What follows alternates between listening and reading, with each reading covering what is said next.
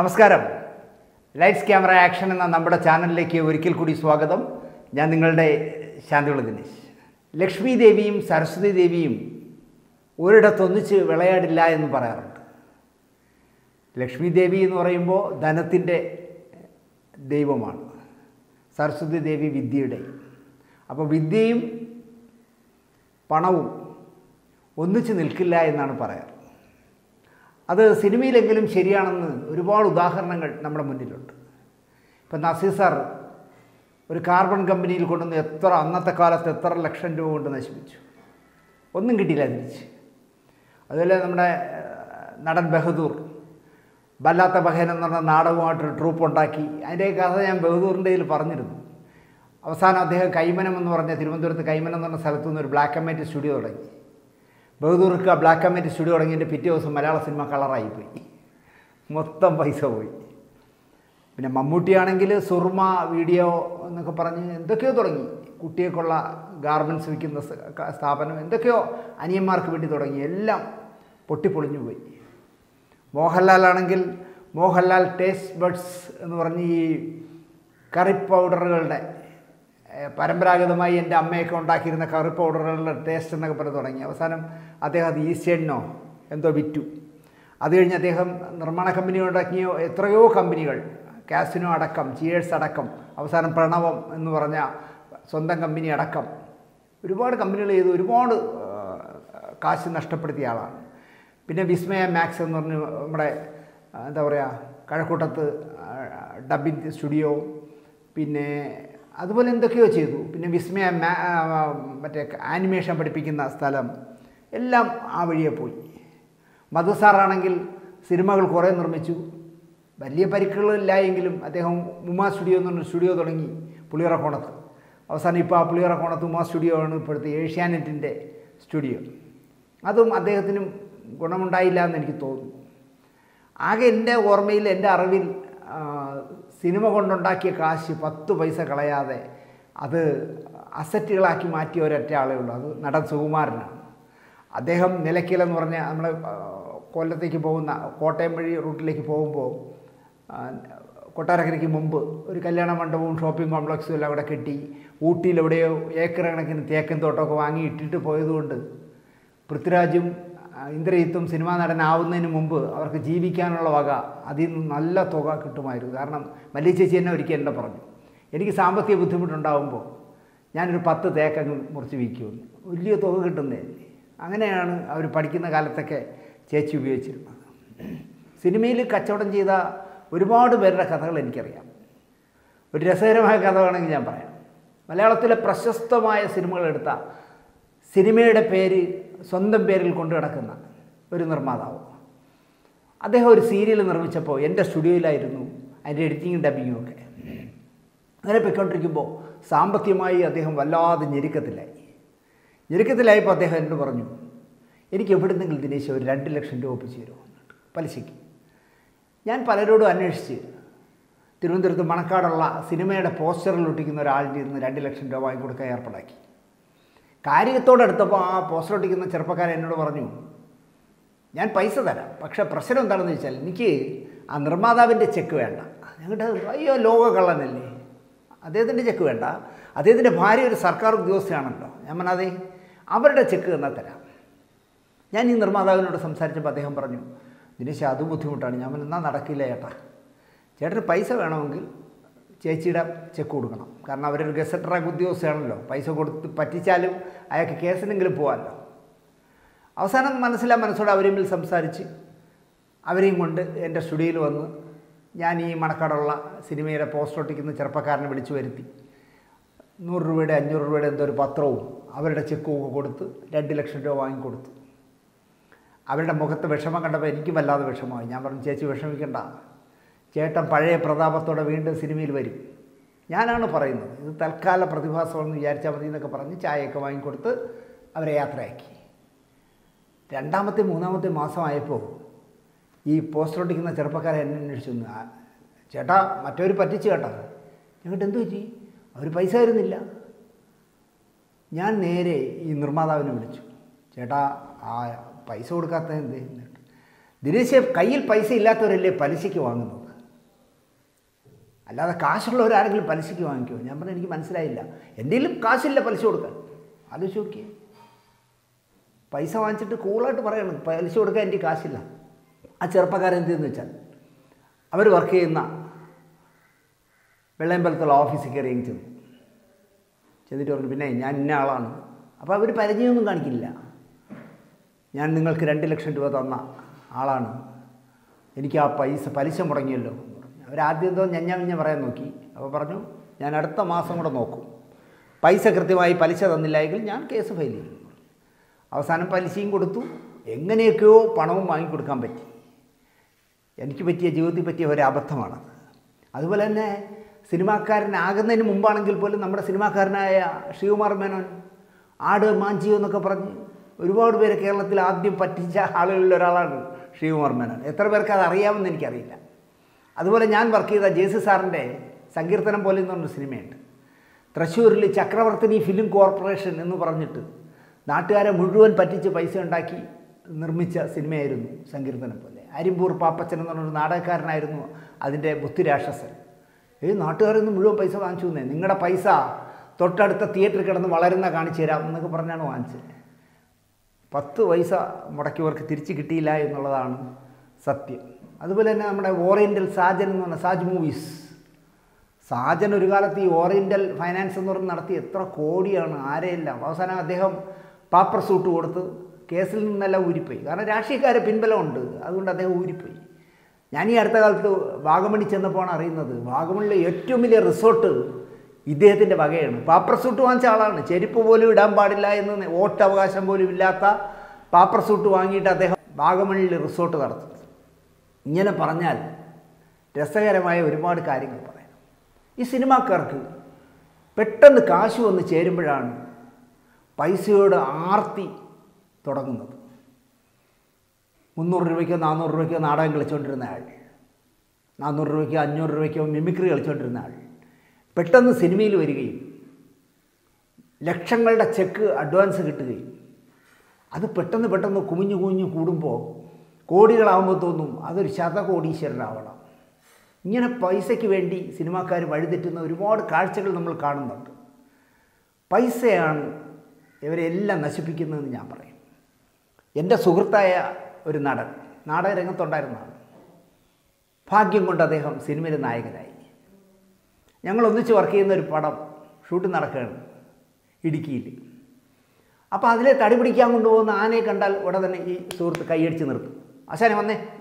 അപ്പോൾ അയ്യോ സിനിമാക്കാരല്ലേ വിളിക്കുന്നതെന്ന് പറഞ്ഞാൽ ആനക്കാരെ അടുത്ത് വരും. ആനയെ കൊടുക്കുന്നു. ആനക്കാരൻ ഞെട്ടിപ്പോവും കാരണം എന്തറിയോ? പരമ്പരാഗതമായി ആയിരക്കണക്കിന് കോടികളുള്ള വ്യവസായിയുടെ വകയാണ് ആന.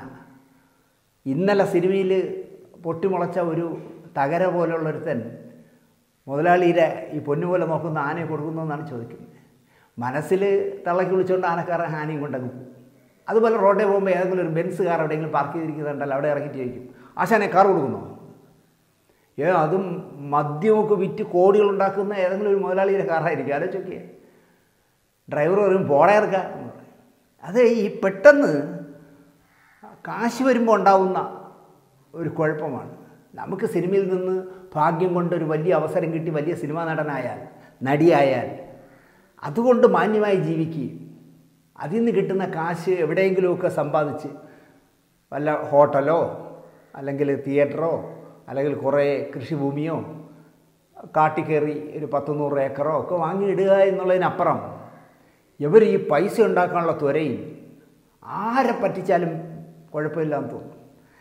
അത് കൊണ്ട് ചാടിക്കുന്നത് വലിയ വലിയ വലിയ അബദ്ധമാണ്. ഇപ്പോൾ റിസബാബ് നമ്മളെ മരിച്ചുപോയ റിസബാബ് എന്ത് മാന്യമായിട്ട് കഴിഞ്ഞിരുന്ന ആളാണ്. അവസാനം പോലീസ് കേസിൽ അറസ്റ്റ് ചെയ്ത് ജയിലിലിട്ടില്ലേ? മകനെ കൊണ്ട് ഒരു പെൺകുട്ടിയെ കല്യാണം കഴിപ്പിക്കാമെന്ന് പറഞ്ഞ് അവരിൽ നിന്ന് എത്രയോ ലക്ഷം രൂപ വാങ്ങിയിട്ട് മകനെ കൊണ്ട് കെട്ടിച്ചതുമില്ല പൈസ തിരിച്ചു കൊടുത്തുമില്ല. അകത്തായിപ്പോയി. അതുപോലെ സത്താർ എന്തോ ഒരു ഇടപാടിൽപ്പെട്ട് ജയിലിലായി. അപ്പോൾ സിനിമാക്കാരൻ ഒരിക്കലും എന്താ പറയുക നമ്മൾ അഭിനയിച്ച് കിട്ടുന്ന കാശ് കൊണ്ട് സുരക്ഷിതമായി മാന്യമായി ജീവിക്കണമെന്ന് ചിന്തിക്കാത്തത് എന്താണെന്ന് എന്നോട് ചോദിച്ചാൽ ഞാൻ പറയും ആർത്തിപ്പണ്ടാരമായി പോകുന്നതുകൊണ്ടാണ് ഇപ്പോൾ തന്നെ അരുൺ എന്ന് പറഞ്ഞൊരു ചെറുപ്പക്കാരൻ. പോലീസിൽ പരാതി കൊടുത്തു. നമ്മുടെ നടൻ ബാബുരാജിനെതിരെ. ബാബുരാജാണെങ്കിൽ എൽ എൽ ബി ഒക്കെ പഠിച്ച ആളാണ്.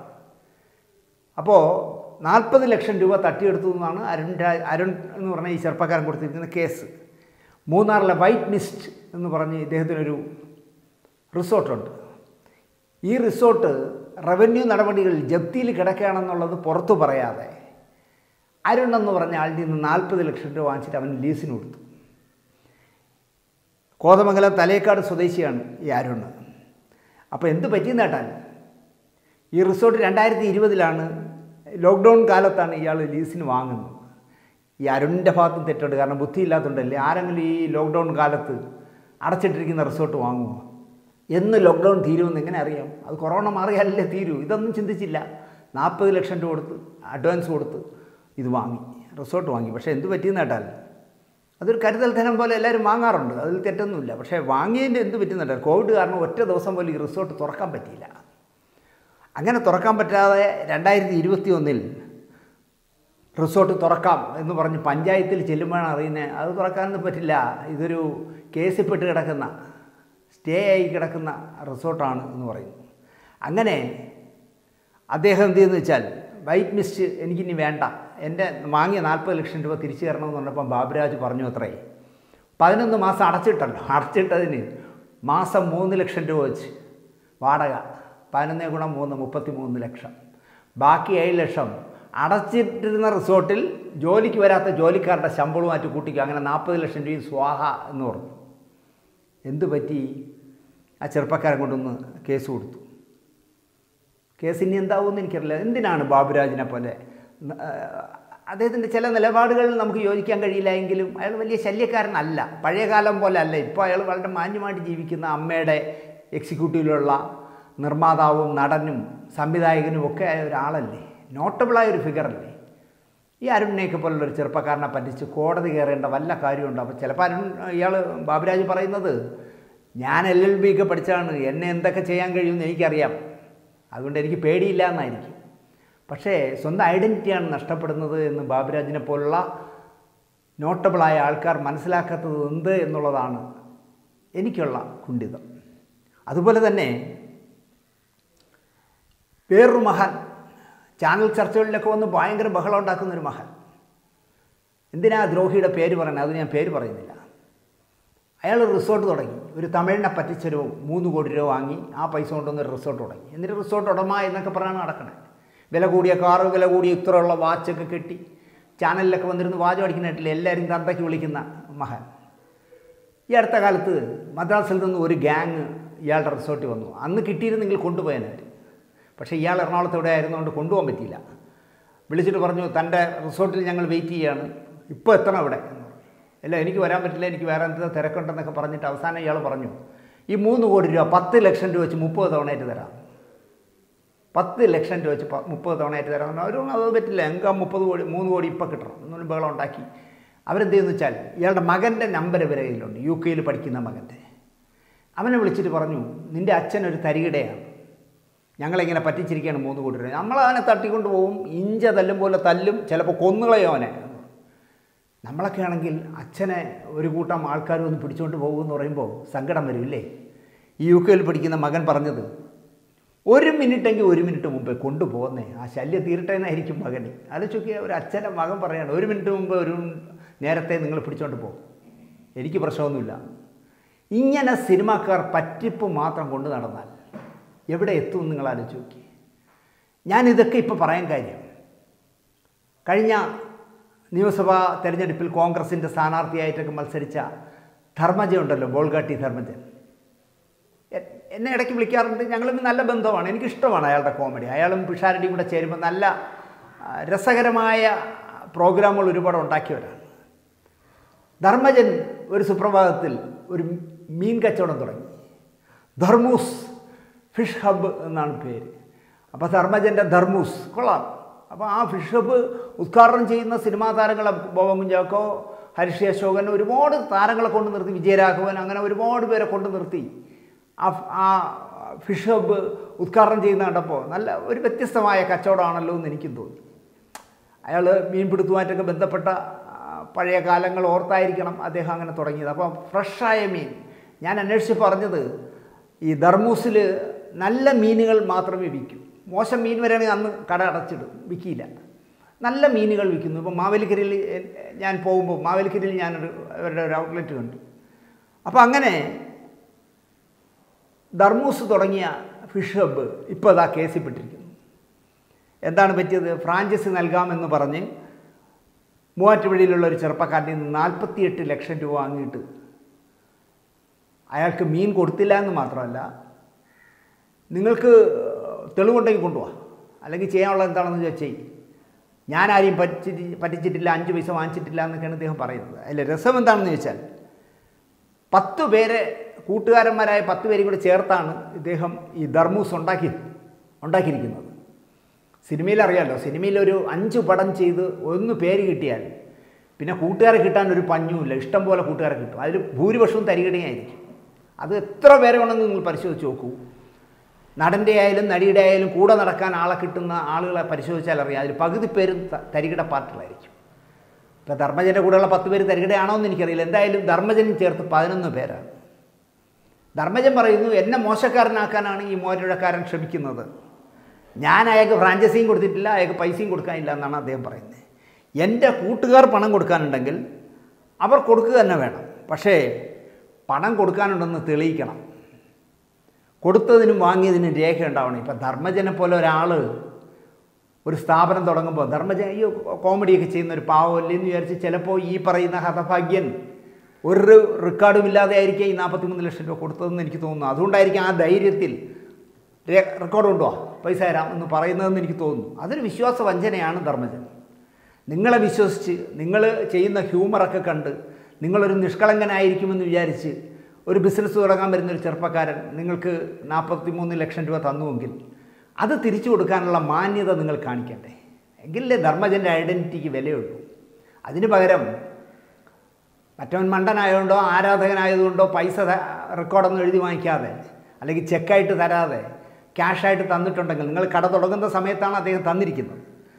അപ്പോൾ ആ തുടങ്ങിയ സമയത്ത് വാങ്ങിയ പൈസ രേഖ കൊണ്ടുവന്നാൽ തരാം. പിന്നെ ഞാൻ വെറും ബ്രാൻഡ് അംബാസഡറാണ് ഇവിടെ മോഹൻലാൽ അടക്കം ആരെല്ലാം ബ്രാൻഡ് അംബാസഡർ ആവുന്നു? ബ്രാൻഡ് അംബാസഡർക്ക് ഇതിലെന്താ കാര്യം? അങ്ങനെ ഉണ്ടെങ്കിൽ മോഹൻലാലിലൂടെയും ആളുകൾ ചോദിക്കേണ്ടതെന്ന് വെച്ചാൽ വെറും ബാലിശമാണ് ധർമ്മജ. ചിലപ്പോൾ നിങ്ങൾ രേഖയിൽ ധർമ്മജന്റെ പേര് കാണില്ലായിരിക്കും. പക്ഷേ ധർമ്മൂസ് എന്താ പറയുക ഫിഷ് ഹബ് എന്നൊക്കെ വയ്ക്കണമെങ്കിൽ ധർമ്മജന്റെ പേരില്ലാതെ ധർമ്മജന്റെ ബ്രാൻഡ് അംബാസഡർ ആക്കിക്കൊണ്ടാണ് ചെയ്തതെന്നൊക്കെ പറഞ്ഞാൽ ദഹിക്കാൻ അല്പം ബുദ്ധിമുട്ടുണ്ട്. അഞ്ച് രൂപ കൊടുക്കാനുണ്ടെങ്കിൽ അത് തെളിയിച്ചാൽ പലിശ അടക്കം കൊടുക്കാൻ ഞാൻ തയ്യാറെന്നാണ് പറയുന്നത്. ഈ അടിച്ചു പറയുന്നു എന്ന് പറയുന്നിടത്താണ് എനിക്കൊരു സംശയമുള്ളത്. ഈ പറയുന്ന മൂവാറ്റുപുഴക്കാരൻ ഒരു റെക്കോർഡ് വാങ്ങാതെ ധർമ്മജൻ എന്നുള്ള പേരിന്റെ വിശ്വാസ്യതയിലായിരിക്കും കൊടുത്തിരിക്കുന്നതാണ് അതുകൊണ്ടായിരിക്കാം അയാളെ പറ്റിക്കാമെന്ന് ധർമ്മജന് നല്ല ബോധ്യമുള്ളത്. അല്ലെങ്കിൽ കേസിൽ നിന്ന് ഊരാൻ എനിക്ക് കഴിയുമെന്ന് ധർമ്മജൻ വിശ്വസിക്കുന്നതെന്ന് എനിക്ക് തോന്നുന്നു. ആരെങ്കിലും എന്തെങ്കിലും പൈസ വാങ്ങിയതിന്റെ തെളിവുമായി വരട്ടെ? അത് കൊടുക്കാൻ ബാധ്യസ്ഥനാണ്. ഇതാണ് ധർമ്മജൻ ബോൾഗാട്ടി പറയുന്ന മറുപടി. ആസിഫ് അലിയാർ എന്ന് പറഞ്ഞ ഒരു ചെറുപ്പക്കാരനാണ് പരാതിക്കാരൻ. അയാൾ എന്ത് ചെയ്യുന്നു വെച്ചാൽ അടിപിടിക്കോ ഇയാളുടെ വീട്ടിൽ ചെന്ന് ബഹളം ഉണ്ടാക്കാനോ ഇയാളുടെ കടയിൽ ചെന്ന് ബഹളം ഉണ്ടാക്കാനോ ഒന്നിനും പോയില്ല. പോലീസുകാരെ പോലും അറിയിച്ചില്ല. അയാൾ കോടതി കൊണ്ടുവന്ന് നേരിട്ടാണ് കേസ് കൊടുത്തത്. അതിൽ നിന്ന് തന്നെ മനസ്സിലാക്കാം അയാളുടെ ഭാഗത്താണ് ന്യായം സത്യം എന്ന് എനിക്ക് ഞാൻ വിശ്വസിക്കുന്നു. അല്ലെങ്കിൽ അയാൾ കോടതിയിലൊന്നും പോവില്ല. ധർമ്മൂസ് ഫിഷ് ഹബിന്റെ കോതമംഗലം ഫ്രാഞ്ചൈസി നൽകാം എന്ന ഉറപ്പിൽ പണം വാങ്ങി വഞ്ചിച്ചു എന്നാണ് കേസ്. ധർമ്മജ ഉൾപ്പെടെ പ്രതികൾ പലപ്പോഴായി നാൽപ്പത്തിമൂന്ന് ലക്ഷം രൂപ വാങ്ങിയെന്നാണ് കേസ്. പതിനൊന്ന് പേരെ പ്രതി ചേർത്താണ് കേസ് കൊടുത്തിരിക്കുന്നത്. രണ്ടായിരത്തി പത്തൊൻപത് നവംബർ പതിനാറിന് തുടങ്ങി തുടങ്ങിയതാണ് ഈ ഹബ്ബ് മൂവാറ്റുപുഴയിൽ. പക്ഷേ മീൻ കൊടുത്തില്ല പണവും കൊടുത്തില്ല. രണ്ടായിരത്തി ഇരുപത് മാർച്ചിൽ മീൻ നൽകൽ നിലച്ചു പോയി അതുവരെ കൊടുത്തു എന്നാണ് പറഞ്ഞത്. രണ്ടായിരത്തി പത്തൊമ്പത് നവംബർ പതിനാറ് മുതൽ മാർച്ച് വരെ കൊടുത്തു. ഏതാണ്ട് അഞ്ച് മാസം മീൻ കൊടുത്തു. അപ്പോൾ അഞ്ച് മാസം കൊടുത്ത മീൻ നാൽപ്പത്തിമൂന്ന് ലക്ഷം രൂപയ്ക്ക് ഉണ്ടെന്നാണോ ധർമ്മജൻ വിശ്വസിക്കുന്നതെന്ന് എനിക്കറിയില്ല. മീൻ ധർമ്മൂസിൽ നിന്ന് എത്തിക്കും. വിൽക്കുന്നതിന് ഇത്ര ശതമാനം കമ്മീഷൻ ധർമ്മൂസിന് കൊടുക്കണം. നോട്ടക്കൂലി പോലെ. അവർ കൊച്ചിയിൽ നിന്ന് മീൻ പിടിച്ച് മറ്റേ കൊഞ്ചൊക്കെ വളർത്തുന്ന സ്ഥലങ്ങളുണ്ടല്ലോ. അവിടെ നിന്നെല്ലാം മീൻ പിടിക്കും. കാരണം ധർമ്മജന് പഴയ മീനുമായി ബന്ധമുള്ളതുകൊണ്ട് അദ്ദേഹം ഈ മീനുകൾ ഫ്രാഞ്ചൈസിയിലെത്തിക്കും. അപ്പോൾ നൂറ് രൂപയ്ക്ക് മീൻ തന്നാൽ അതിൽ ഇത്ര പെർസെന്റ് അഞ്ച് പെർസെന്റോ മൂന്ന് പെർസെന്റോ കമ്മീഷനായിട്ട് തിരിച്ച് ധർമ്മജന് കൊടുക്കണം. ഇതായിരിക്കും അവരുടെ കരാർ. ആസിഫ് അലിയാർക്ക് നാൽപ്പത്തിമൂന്ന് ലക്ഷം നഷ്ടം. അടിയും വഴക്കിൽ നിന്നും അയാൾ പോയില്ല എന്ന് ഞാൻ നേരത്തെ പറഞ്ഞല്ലോ. ആരോപണത്തിൽ പ്രഥമ ദൃഷ്ടിയാ കഴമ്പുണ്ടെന്ന് കോടതിക്ക് തോന്നി. ധർമ്മജനി ഇപ്പോൾ എന്തൊക്കെ പറഞ്ഞാലും കോടതിക്ക് തോന്നി. ഈ പറയുന്ന ആസിഫ് പറയുന്നതിൽ ആസിഫ് അലിയാർ പറയുന്നതിൽ ന്യായമുണ്ട് എന്ന് തോന്നി. അന്വേഷിക്കാൻ ഉത്തരവിട്ടു. കൊച്ചി സെൻട്രൽ പോലീസ് ആണ് ഒന്നാം ധർമ്മജനെ ഒന്നാം പ്രതിയാക്കിക്കൊണ്ട് ഈ കേസ് മുമ്പോട്ട് കൊണ്ടുപോകുന്നു. ധർമ്മജൻ മനസ്സിലാക്കേണ്ട മനസ്സിലാക്കിയിരിക്കും ഇതിനിടയ്ക്ക് ഐ പി സി നാനൂറ്റി ഇരുപത് എന്ന് പറഞ്ഞാൽ ചീറ്റിംഗ്. ഐ പി സി നാനൂറ്റി ആറ് സംഘം ചേർന്ന് പറ്റിക്കൽ. ഐ പി സി മുപ്പത്തിനാല് കൂട്ടുപ്രതികൾ പ്ലാൻ ചെയ്ത് പറ്റിക്കൽ. ഇതെല്ലാം ജാമ്യമില്ലാത്ത വകുപ്പാണ്. എന്തിനാണ് ധർമ്മജ? ഇത്തരം മൂന്ന് ജാമ്യമില്ലാ വകുപ്പുകളിട്ട് കേസെടുത്തിരിക്കുകയാണ് താങ്കളുടെ പേരിൽ. താങ്കളോട് ചോദ്യമൊക്കെ ചെയ്തിട്ട് ചിലപ്പോൾ നിങ്ങൾ മുൻകൂർ ജാമ്യം എടുക്കും. വേണമെങ്കിൽ രാമപിള്ള സാറിനെ പോലെ ലക്ഷങ്ങൾ കൊടുത്ത് നാൽപ്പത്തിമൂന്ന് ലക്ഷം രൂപ ഒരുത്തനെ പറ്റിക്കാമെങ്കിൽ അഞ്ച് ലക്ഷം മുടക്കുക എന്താ? അല്ലെങ്കിൽ പത്ത് ലക്ഷം മുടക്കാമെന്ന് നിങ്ങൾ വിചാരിക്കും. പക്ഷേ എന്തായാലും ശരി നിങ്ങൾ ചെയ്തത് ഒരു സിനിമാ നടൻ ഒരു കലാകാരൻ എന്നുള്ള നിലയ്ക്ക് ഒരു താഴേക്കിടയിൽ നിന്ന് വളർന്നു വന്ന ഒരാളെന്നുള്ള നിലയ്ക്ക് ധർമ്മജൻ ഒരിക്കലും അത് ചെയ്യാൻ പാടില്ലായിരുന്നു. അതാണ് എന്റെ പക്ഷം. ഇപ്പം രമേഷ് പിഷാരടിയെ പോലുള്ള നിങ്ങളുമൊക്കെ കോൺഗ്രസ്സിൽ പ്രവർത്തിക്കുന്നതൊന്നും അല്ല പ്രശ്നം. പിഷാരടിയും നിങ്ങളുടെ ഫ്രാഞ്ചൈസി എടുത്തിട്ടുണ്ടെന്നാണ് എനിക്ക് കിട്ടിയ വിവരം. വിജയരാഘവൻ കോട്ടയത്ത് സിനിമാടൻ വിജയരാഘവൻ കോട്ടയത്ത് കുഞ്ചാക്കു ബോബൻ പാലാരിവട്ടത്ത് രമേഷ് പിഷാരടി വെണ്ണലയിൽ ടിനി ടോം ആലുവയിൽ നാദിർഷയും ദിലീപും കൂടെ ചേർന്ന് കളമശ്ശേരിയിൽ മാവേലിക്കര അടക്കം വേറെ മുപ്പത്തി ഒമ്പത് ഫ്രാഞ്ചൈസി വേറെയും ഉണ്ടെന്ന് പറയുന്നു. എന്തായാലും ഞാൻ ധർമ്മജൻ ധർമ്മൂസ് എന്ന് പറഞ്ഞ ഈ സ്ഥാപനത്തിന്റെ അംബാസഡർ മാത്രമാണെന്ന് പറഞ്ഞാൽ അത് ദഹിക്കാൻ ഇത്തിരി ബുദ്ധിമുട്ടുണ്ട് ധർമ്മജ. എത്രയോ സ്ഥാപനങ്ങളിൽ മോഹൻലാൽ ബ്രാൻഡ് അംബാസഡർ ആണെന്ന് പറഞ്ഞിട്ടൊന്നും ഒരു കാര്യമില്ല കാരണം കൊശമറ്റത്തിന്റെ ബ്രാൻഡ് അംബാസഡർ ആയതുകൊണ്ട് അയാൾ അതിൽ മുതലാളിയാവണമെന്നില്ല. അതുപോലെ തന്നെ എന്തൊക്കെയോ വരുന്നുണ്ടല്ലോ. ആ ഇത് വെച്ചുകൊണ്ട് മോഹൻലാലിന് ബ്രാൻഡ് അംബാസഡർ ആവുമെങ്കിൽ എനിക്കായിക്കൂടെ എന്നൊക്കെ ചോദിക്കുന്നതും ഒരു കടന്ന കൈയാണ് ധർമ്മജ. അയാൾ സ്വർണപ്പണയ ഇടപാട് നടക്കുന്ന സ്ഥാപനത്തിൽ എണ്ണ പരസ്യത്തിൽ എന്തിലൊക്കെ നിൽക്കുന്നുണ്ട്. പക്ഷേ നിങ്ങൾ മനസ്സിലാക്കേണ്ടത് ബ്രാൻഡ് അംബാസഡർ ആയാൽ പോലും കുരുങ്ങുമെന്നുള്ള നിങ്ങൾക്ക് അറിയണമെങ്കിൽ ആ അനുമേനോട് ചോദിക്കും. ഒരു എണ്ണ വാങ്ങിച്ച് തലയിൽ തേച്ചാൽ മുടി ഇങ്ങനെ ജഡ പോലെ വളരുമെന്നൊക്കെ പറഞ്ഞൊരു പരസ്യം അനൂപ് അഭിനയിച്ചതിന് അവസാനം കോടതി അത് വിശ്വാസവഞ്ചനയാണെന്ന് കണ്ടപ്പോൾ ആ- എണ്ണ ഉണ്ടാക്കിയ മുതലാളിയുടെ കൂടെ അനൂപിനും ശിക്ഷ വിധിച്ചു. എത്ര രൂപ നഷ്ടപരിഹാരം കൊടുക്കാൻ. അപ്പോൾ അതുകൊണ്ട് ബ്രാൻഡ് അംബാസഡർ ആയതുകൊണ്ട് എനിക്ക് യാതൊരു റോളും ഇല്ല എന്നൊക്കെ പറഞ്ഞ് ഊരാൻ നോക്കണ്ട. അപ്പോൾ അതുകൊണ്ട് ബ്രാൻഡ് അംബാസഡർ ആയതുകൊണ്ട് എനിക്കിതിൽ യാതൊരു റോളും ഇല്ല എന്ന് പറഞ്ഞ് ധർമ്മജൻ കൈ എഴുതാൻ നോക്കണ്ട. പകരം എനിക്ക് പറയാനുള്ളത് മൊത്തത്തിൽ സിനിമാ രംഗം നാറിക്കൊണ്ടിരിക്കുക. അങ്ങനെ നാറി നാറി പൊയ്ക്കൊണ്ടിരിക്കുന്നതിനിടയിൽ ഇനി ധർമ്മജന്റെ സംഭാവന കൂടി കൊടുക്കണ്ട ധർമ്മജ. നിങ്ങൾ താഴേക്കിടയിൽ നിന്ന് വളർന്നു വന്ന ആളല്ലേ? അഞ്ഞൂറ് രൂപയ്ക്കൊക്കെ മിമിക്രി അല്ലെങ്കിൽ ഏഷ്യാനെറ്റിലെ ഏതോ ഏഷ്യാനെറ്റ് പ്ലസ്സിലോ എന്തോ ഒരു ചെറിയ പ്രോഗ്രാമൊക്കെ നിങ്ങൾ രമേഷ് പിഷാരടിയുടെ ചെയ്ത് ജനങ്ങളുടെ മനസ്സിലേക്ക് ചേക്കേറിയ ആളാണ്. നിങ്ങളെപ്പോലുള്ള ആൾ സിനിമയിൽ നിന്ന് പതിയെ പതിയെ പതിയെ ആയിരങ്ങളിൽ നിന്ന് ലക്ഷങ്ങളിലേക്ക് ലക്ഷങ്ങളിലേക്ക് കുതിക്കുമ്പോൾ അതിൽ നിന്ന് നിങ്ങളൊരു സ്ഥാപനം തുടങ്ങുമ്പോൾ നിങ്ങളുടെ പേര് അല്ലെങ്കിൽ നിങ്ങളുടെ പ്രശസ്തി നിങ്ങളുടെ വിശ്വാസത്തിൽ ഏതെങ്കിലുമൊക്കെ പാവങ്ങൾ നമുക്കും അതുകൊണ്ട് എന്തെങ്കിലും ഗുണം കിട്ടും. ധർമ്മജൻ തരുന്ന ഫ്രഷായ മീൻ കൊണ്ടൊന്ന് വിറ്റാൽ ദിവസം പത്ത് രണ്ടായിരം രൂപ നമുക്കും ഉണ്ടാക്കാമെന്ന് പറഞ്ഞാൽ ആരെങ്കിലും വീടും ഒക്കെ കൂടുമൊക്കെ പണയം വെച്ചോ വിറ്റോ ഒക്കെ കൊണ്ടുവന്ന് നിങ്ങളിൽ പത്തോ നാൽപ്പത്തി മൂന്നോ ലക്ഷം രൂപ തന്നാൽ തെളിവ് എവിടെ സ്നേഹിത എന്ന് ചോദിക്കുന്നത് ശരിയല്ല. കേസിനും വഴക്കിനും പോകാതെ ധർമ്മജൻ ആ പൈസ തിരിച്ചു കൊടുത്താൽ. മലയാള സിനിമയ്ക്കും കൂടി നാണക്കേടിൽ നിന്ന് തലയൂരാം എന്ന് മാത്രം പറഞ്ഞുകൊണ്ട് ഈ എപ്പിസോഡ് ഇവിടെ അവസാനിപ്പിക്കുന്നു. നന്ദി നമസ്കാരം.